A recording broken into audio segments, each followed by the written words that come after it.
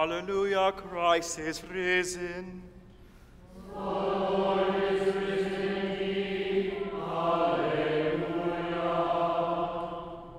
Almighty God, to your hearts are open, all desires known, and from you no secrets are hid. Cleanse the thoughts of our hearts by the inspiration of your Holy Spirit, that we may perfectly love you and worthily magnify your holy name. Through Christ our Lord.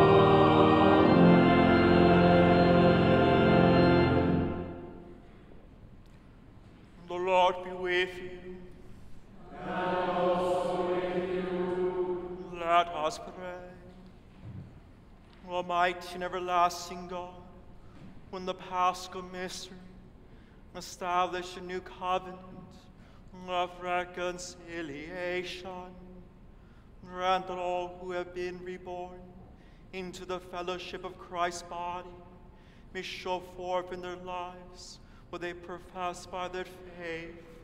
Through Jesus Christ our Lord, who lives and reigns with you and the Holy Spirit, one God, forever and ever.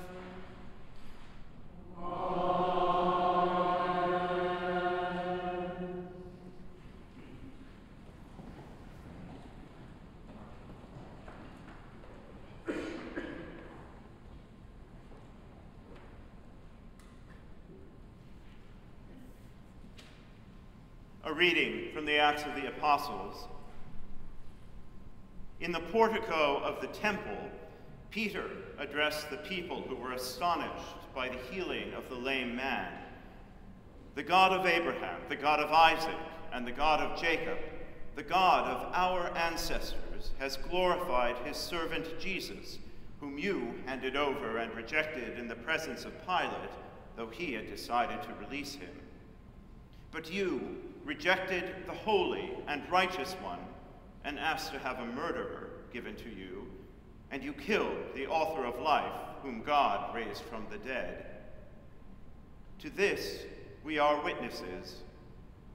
And now, friends, I know that you acted in ignorance, as did also your rulers. In this way, God fulfilled what he had foretold through all the prophets, that is, his Messiah would suffer. Repent, therefore, and turn to God, so that your sins may be wiped out, so that times of refreshing may come from the presence of the Lord, and that he may send the Messiah appointed for you, that is, Jesus, who must remain in heaven until the time of universal restoration that God announced long ago through his holy prophets. Moses said, The Lord your God will raise up for you from your own people a prophet like me. You must listen to whatever he tells you. And it will be that everyone who does not listen to that prophet will be utterly rooted out of the people. And all the prophets, as many as have spoken from Samuel and those after him, also predicted these days.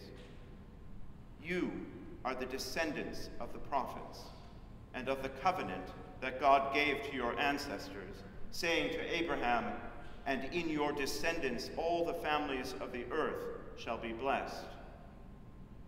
When God raised up his servant, he sent him first to you, to bless you by turning each of you from your wicked ways. The word of the Lord.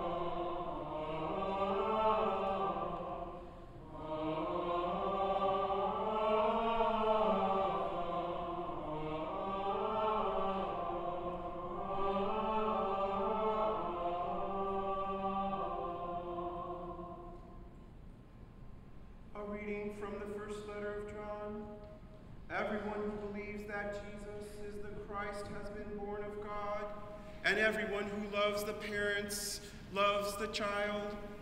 By this we know that we love the children of God, when we love God and obey his commandments.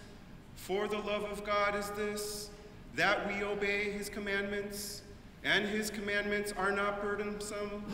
For whatever is born of God conquers the world. And this is the victory that conquers the world, our faith.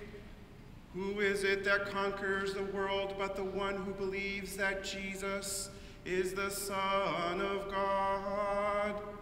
This is the one who came by water and blood, Jesus Christ, not with the water only, but with the water and the blood. And the Spirit is the one that testifies, for the Spirit is the truth. The word of the Lord. The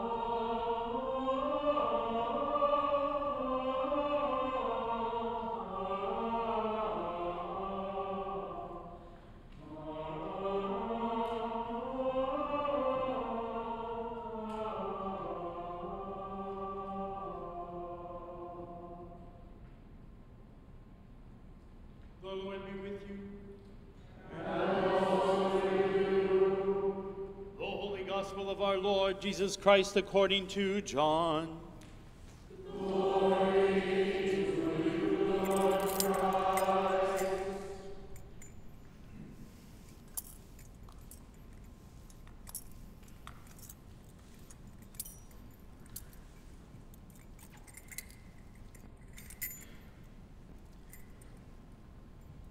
When it was evening on that day, the first day of the week, and the doors of the house where the disciples had met were locked for fear of the Jews, Jesus came and stand, stood among them and said, Peace be with you. After he said this, he showed them his hands and his side. Then the disciples rejoiced when they saw the Lord. Jesus said to them again, Peace be with you. As the Father has sent me, so I send you. When he had said this, he breathed on them and said to them, Receive the Holy Spirit. If you forgive the sins of any, they are forgiven them. and if you retain the sins of any, they are retained. But Thomas, who was called the twin, one of the twelve, was not with them when Jesus came. So the other disciples told him, We have seen the Lord. But he said to them, Unless I see the mark of the nails in his hand, and put my finger in the mark of the nails, and my hand in his side, I will not believe. A week later, his disciples were again in the house, and Thomas was with them. Although the doors were shut, Jesus came and stood among them and said, Peace be with you. Then he said to Thomas, Put your finger here and see my hands. Reach out your hand and put it in my side. Do not doubt, but believe. Thomas answered him, My Lord and my God. Jesus said to him, Have you believed because you have seen me? Blessed are those who have not seen and yet have come to believe. Now Jesus did many other signs in the presence of his disciples, which are not written in this book. But these are written so that you may come to believe that Jesus is the Messiah, the Son of God, and that through believing you may have life in his name. The Gospel of the Lord. In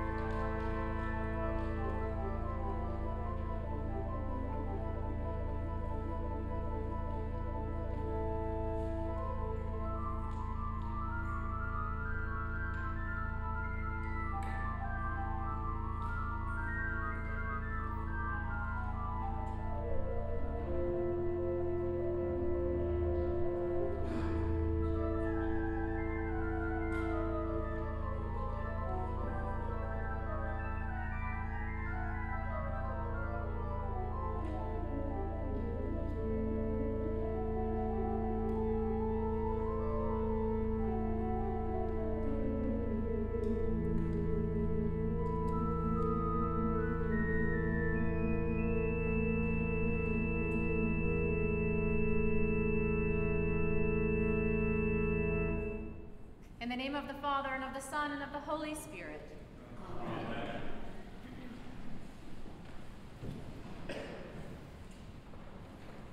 There is just so much that we don't know about the disciples. Their personalities, those traits and ticks that put literary meat on the bones of their characters. For some, we may know a father or maybe a mother, but we don't know what kind of children they were, what kind of teenagers they were, were they easy to care for? We don't even know how, how they were even as adults. It's Peter the Rock who I like to think of as the most extra of the 12. On being told that he has to have his feet washed by Jesus, Peter, of course, says, Don't just wash my feet, wash my head and my hands as well. And it's Peter who preaches with such missionary zeal after the ascension. And when he is sentenced to death also on a cross, he requests to be crucified upside down because he doesn't think himself worthy to die in the same, same manner as his Savior. Andrew, according to John's Gospel, had been a follower of John the Baptist, but he rightly left John to follow Jesus. He eventually led his brother Peter to also follow Jesus and then quietly slipped into the shadows to let his more effervescent brother shine. Though Matthew, Mark, and Luke say that Peter and Andrew were actually called together by the Sea of Galilee. And there are James and John, who, with Peter, are the inner circle of Jesus, and they witness the transfiguration of Jesus. According to tradition, it's John who is Jesus' beloved disciple. We know that Matthew drops his work as a tax collector at Jesus' beckoning to follow me. perhaps he just had the good intuition about things and didn't need a lot of convincing. Not much is said about these men that gives us a very clear picture of who they were and just why they took up ministering with Jesus around the countryside. Well, even less is said about James the Less, Nathanael, Simon the Zealot, or Jude. But we can gather that as named followers of Jesus, they possessed a certain loyalty and faith to the in the message that Jesus was proclaiming and the message, the miracles he was performing. Judas, of course, is known best for his betrayal of Jesus, who, even though he knew that la- Judas's lapse in faith would be his own demise, still ate and drank with him.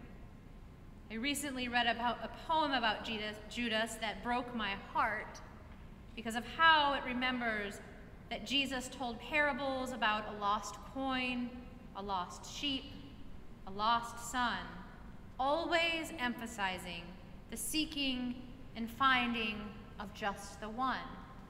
And in this poem, the, the poet wonders whether Jesus also sought Judas when he descended into hell. In one of his gorgeous poems of blessing, John O'Donohue writes Endeavor to remain aware of the quiet world that lives behind each face. There is just so much to fill in about the quiet worlds that live behind the faces of Jesus' 12 disciples. To see them not as secondary characters in a story about God meant to push only the narrative forward, but to see them as people. I'm of the mind that their whole lives, while not captured in the pages of our scripture, has something, have something to say about our whole lives and where we can find ourselves in the story of God among us. In them, I think we can find our own stories, even if we have to imagine what their stories were, and to build them from the foundation that were offered in the Gospels, in the book of Acts. Of course, I haven't mentioned Thomas yet, have I? It's his story, or part of his story, that we hear today, but only a small part of it. The quiet world behind the face of he who was called the twin, I imagine, was likely a dance between a skeptical mind and a believer's heart. You may recognize the rhythm of that dance yourself. It's hard not to in this day and age of a constant, constant stream of information and astounding scientific discoveries and technology that allows for a pocket-sized device to contain whole worlds. The doubt of Thomas is so emphasized in our tradition that it's become shameful to ever have it. It's as if we forget that the person who wanted to put his fingers in Jesus' wounds to believe just that, that he was a person, was also a person. We've made doubt something not, not like salt for a bland, bland food. A person, Thomas was a person like many people, like many of us, who long to touch Jesus just to know that he's real a person like many who came after throughout the millennia after Jesus' ascension into heaven who would not get that experience. Well, just Jesus blesses those people. Jesus blesses us. But he also blesses Thomas and invites Thomas to do exactly what he says he needs in order to believe. A week prior, when Thomas wasn't with the disciples, Jesus blessed the rest of them, after all, in their fear and trembling. They didn't know what was going on and had locked themselves in a house because they were afraid of what might happen to them after seeing Jesus crucified. Sure, the woman had, women had encountered an empty tomb, and Peter and John themselves had inspected it according to John's gospel. But they were still so confused. They were terrified. And of course, in the midst of all of that, Jesus shows up. And he blesses them by showing them his wounds. He's not a ghost or disembodied spirit. He hasn't been made whole. He's a flesh and blood human being who has been wounded and resurrected. A human being who knew real fear and trembling himself the night before his violent death. A human being with a quiet world behind his face. No one knows why Thomas wasn't there when Jesus reveals himself for the first time to his disciples. I've heard people speculate that Thomas could have been running late or running errands, gathering enough food for them to hole up in this house for a while. Maybe he was gathering information to bring back to the disciples about friends who could offer a home for the night, a safe place to sleep, or those who were sympathetic to their cause, or just how angry the Romans were at them for marching Jesus into the city as if he were a king. I always wonder if Thomas wasn't so deeply wounded spiritually by the crucifixion that he needed some time to process and to grieve the death of the one he'd called Lord and Savior. Time to make sense of how his world, the one he'd been imagining with his friends and seeing come to fullness in Jesus' miracles and message, came crashing down when he saw Jesus die upon that cross, mocked by soldiers who played games and gambled at his feet. Either way, wherever he was, when Thomas is back with the disciples, a point that I find pretty admirable, given that he showed back up, they rush to tell him what had happened. And if you see that skeptic's mind and believer's heart waltzing behind his face, you can understand why Thomas was so incredulous. Thomas can't rely on the account of the other's encounter with the risen Christ. He needs his own. And he tells them so, the bare, honest truth of it. Unless I see the mark of the nails in his hands and put my finger, my finger in the mark of the nails and my hand in his side, I will not believe. I have found myself saying something in response to the gospel reading for every Eucharist this Easter week, and that is, of course, Jesus shows up. Of course, Jesus shows up right then. And he blesses Thomas by letting him touch his wounds and see for himself. And he blesses us, those who will not see and yet do believe. Given that we hear the story of Thomas in conjunction with Jesus' appearance to the other disciples, I wonder if we are invited to consider something other than Thomas's doubt. I wonder if we might not point at the doubters we encounter in our lives, whether our others or ourselves. And I wonder instead if we can endeavor to look for and see the quiet worlds behind each face we encounter on this walk of faith together. I like to think that the original disciples were able to do that, to see each other as beloved by God and Jesus Christ didn't they watch Jesus eat with the man who would betray him? Didn't they watch Jesus let Thomas touch his wounds? Their belief in the resurrected Christ allowed them to continue to proclaim the good news after all. The division in our world is astounding right now.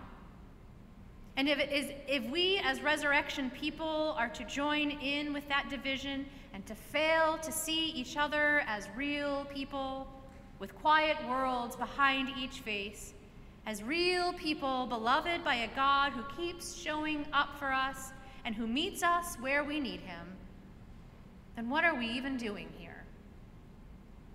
To be Easter people throughout the whole year, but indeed, especially this season, let us walk together in faith wherever you are as you try to make sense of Jesus' resurrection. Let us walk together in faith wherever you are, understanding yourself to be in this Easter story, in this Easter season. Let us walk together in faith as we all work out what it means to believe, to have faith, and to walk in that same love as Jesus. And let us endeavor to have the faith that allows us to see each other more fully as people and blessing one another in our shared journey. In the name of the Father, and of the Son, and of the Holy Spirit.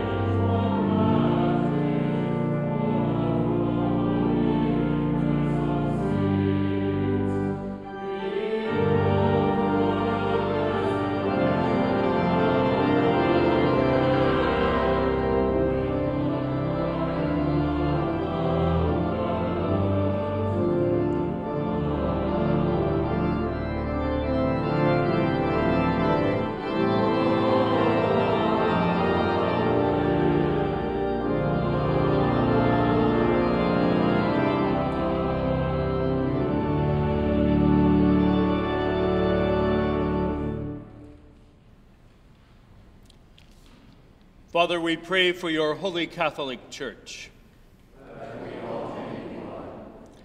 Grant that every member of the church may truly and humbly serve you.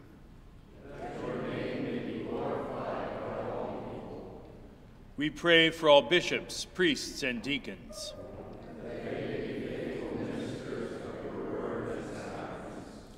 We pray for all who govern and hold authority in the nations of the world.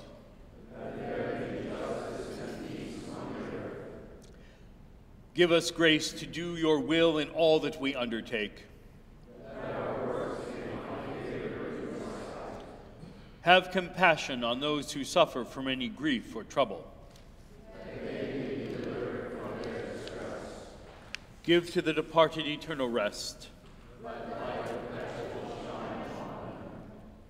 We praise you for your saints who have entered into joy.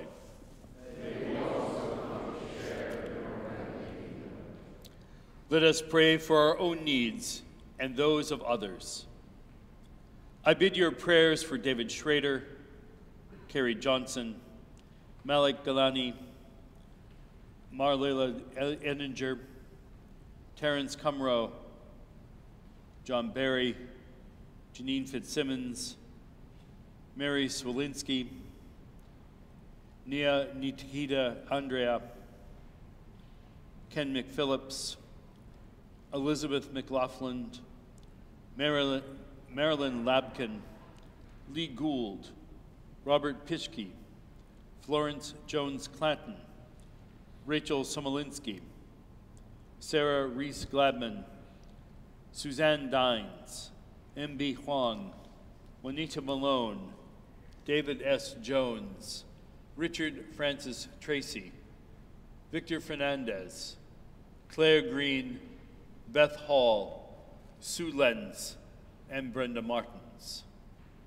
We pray also for all those affected by natural disasters in Taiwan and those affected by war and conflict in Palestine and Israel. I bid your prayers for the Thanksgiving for those celebrating birthdays this week John Solominsky and Gary Lewis.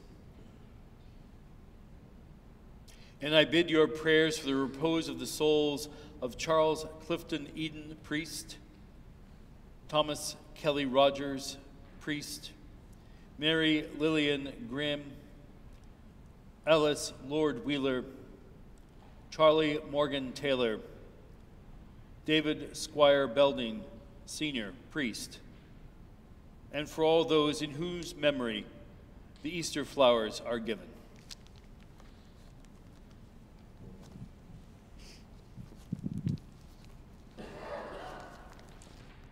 Lord Jesus Christ, you said to your apostles, Peace I give to you, my own peace I leave with you. Regard not our sins, but the favor of your church, and give to us the peace and unity of that heavenly city, where with the Father and the Holy Spirit you live and reign, now and forever. Amen. The peace of the Lord be always with you.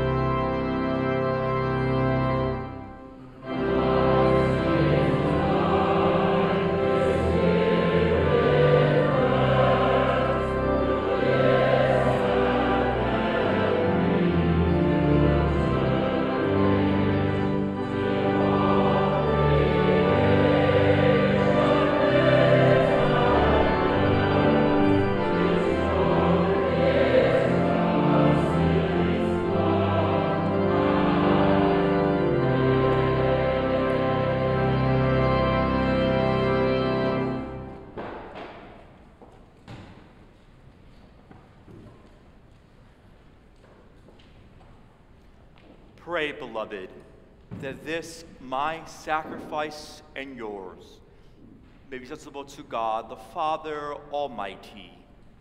May the Lord receive the sacrifice at your hands, to the praise and glory of his name, both for our benefit and that of all his holy church. Amen. The Lord be with you. And also with you. Lift up your hearts.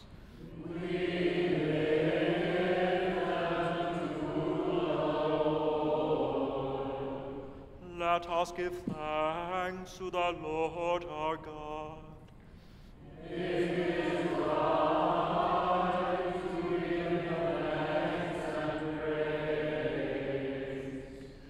It is truly right to glorify your Father, and to give you thanks.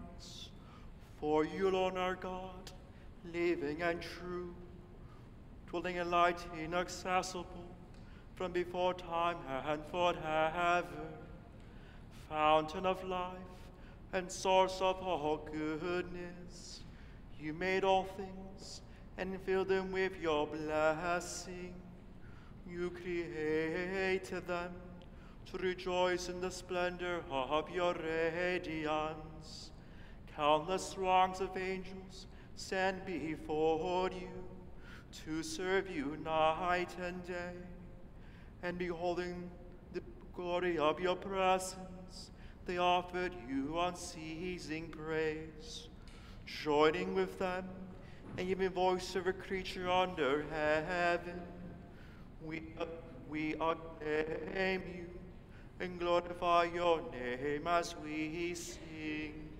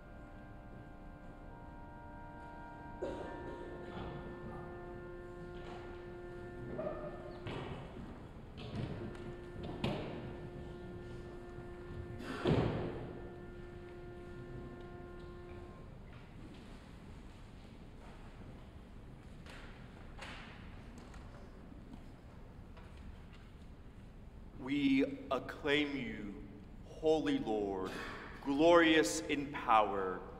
Your mighty works reveal your wisdom and love.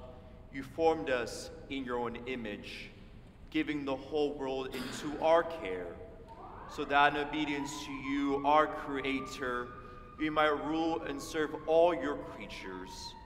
When disobedience took us far from you, do not abandon us to the power of death. You, in your mercy, came to our help, so that in seeking you, we might find you. Again and again, you called us in covenant with you, and through the prophets, you taught us to hope for salvation. Father, you love the, whole, the world so much that in the fullness of time, you sent your only Son to be our Savior, incarnate by the Holy Spirit, born of the Virgin Mary. He lived as one of us, yet without sin. To the poor, he proclaimed the good news of salvation. To prisoners, freedom. To the sorrowful, joy. To fulfill your purpose, he gave himself up to death, and rising from the grave, destroyed death and made the whole creation new, and that we might live no longer for ourselves, for him who died and rose for us. He sent the Holy Spirit, his own first gift for those who believe, to complete his work in the world and to bring to fulfillment the sanctification of all.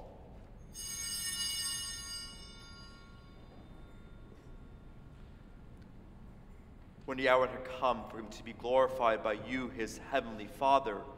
Having loved his own who were in the world, he loved them to the end. At supper with them, he took bread. And when given thanks to you, he broke it and gave it to the disciples and said, Take, eat. This is my body which is given for you. Do this for the remembrance of me.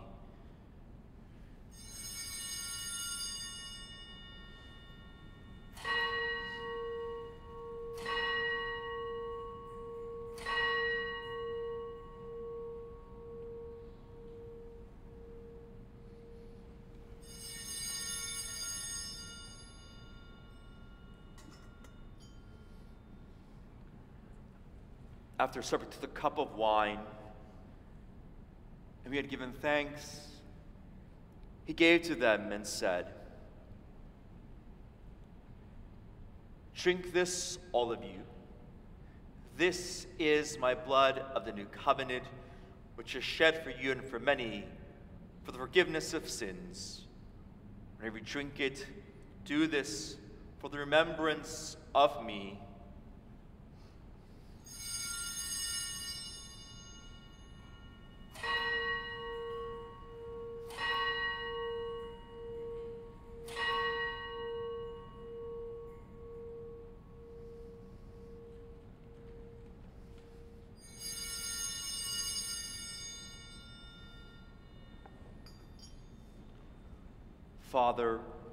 Now celebrate this memorial for our redemption, recalling Christ's death as the Son among the dead, proclaiming his resurrection and ascension to your right hand, awaiting his coming in glory, and offering to you from the gifts you have given us this bread and this cup. We praise you and we bless you.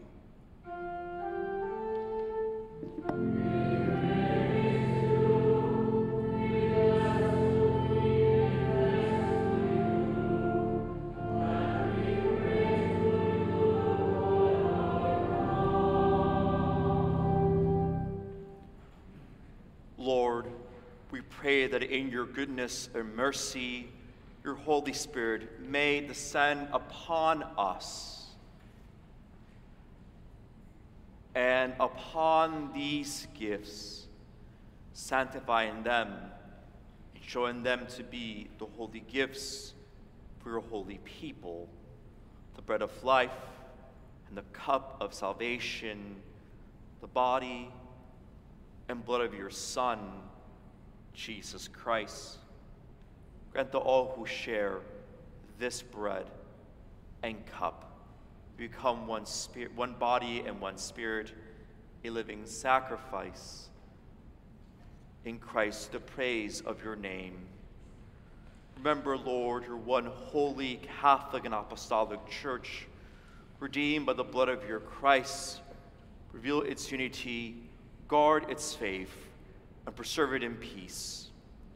Remember all who have died in the peace of Christ, and those whose faith is known to you alone.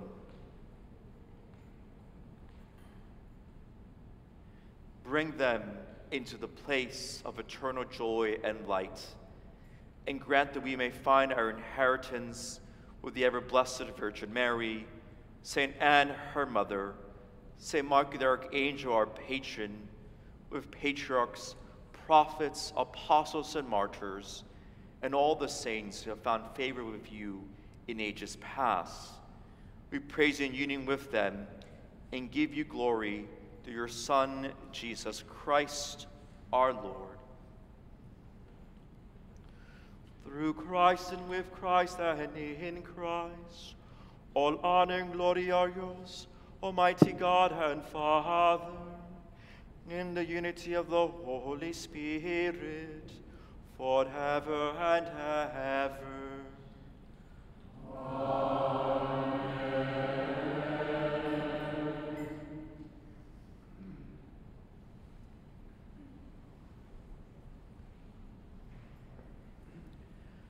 And now, as our Savior Christ has taught us, we are bold to say, Amen.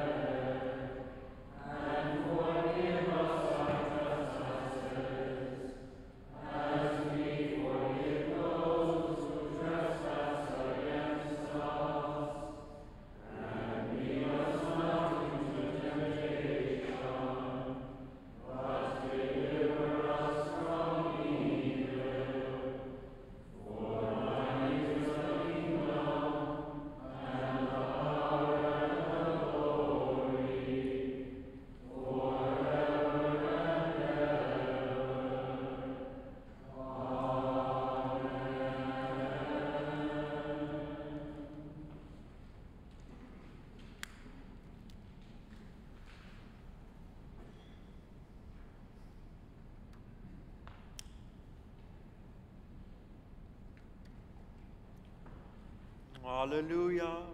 Christ our Passover is sacrificed for us. Therefore, let us sing the feast. Alleluia.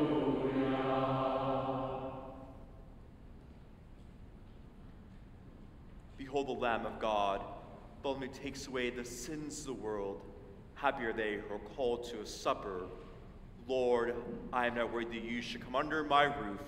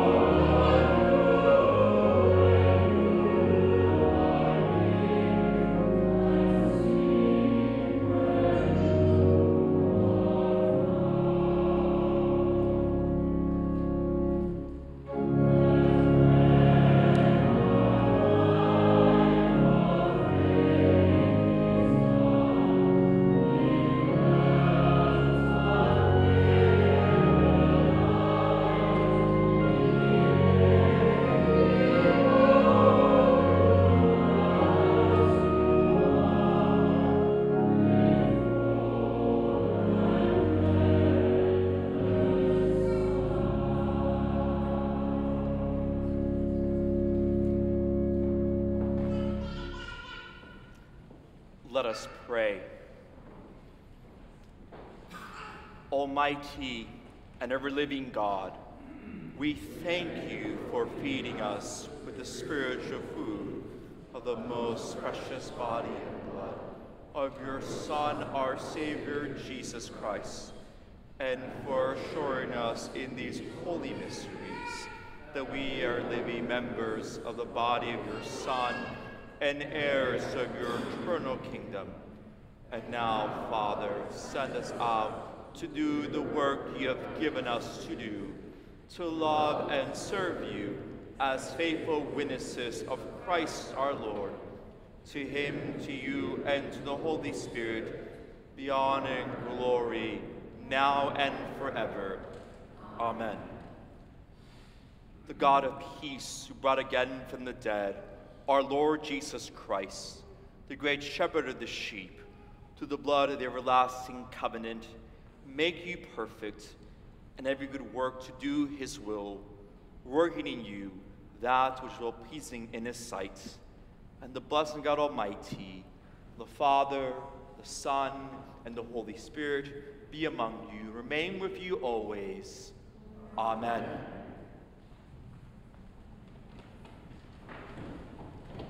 The Lord be with you. Let us go forth in the name of Christ. Hallelujah. Hallelujah.